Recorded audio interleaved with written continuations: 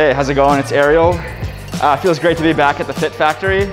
You know, so far everything's been great. Uh, coming, walking in, there's all the markers on the ground to let you know how to socially distance. They give you all the instructions right up at the front. You get your temperature check for that extra little bit of precaution. And, you know, coming in, there's the hand sanitizer stations everywhere. And that's just kind of before we get to the workout. Um, you know, Bailey was the trainer right now. She was awesome. Kind of explained where to head in depending on if you want lighter weights or heavier weights. Getting to the station, you know, I found that at my station, it had all the weights that I needed. The workout was phenomenal. I mean, you know, it was, it's been like four months uh, without the Fit factor. so it's definitely great to be back.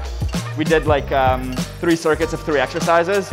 As you could tell, it was a phenomenal workout. I'm exhausted.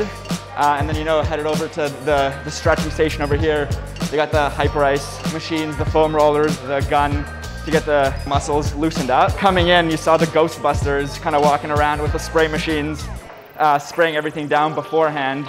When you got there, you could tell that the area and everything's been sanitized. You know, we sanitize our own station afterwards. I feel completely comfortable being here. Uh, to any, you know, workout, for anyone that wants to work out in general, I highly suggest either coming back to Fit Factory or joining, especially now.